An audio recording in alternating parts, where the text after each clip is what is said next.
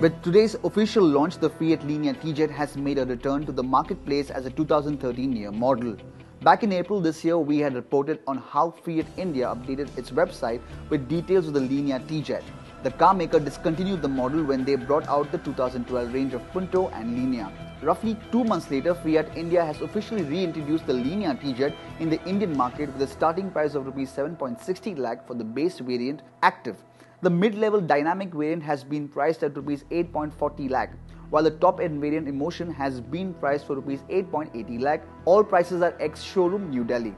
Visually, Fiat has made no changes to the new Linea TJet. However, the 2013 model comes with the same set of updates as the standard Linea. Standard features now include automatic headlamps, rain-sensing wipers, audio system with remote.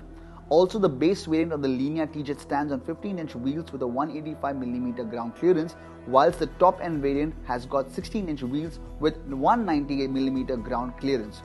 All the three variants of the Linea TJet feature disc brakes and ABS with EBD.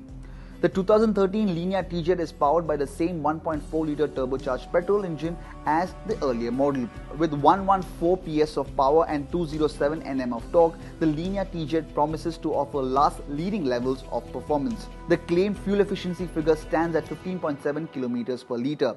Fiat India is offering a 3 year warranty on the Linea TJet.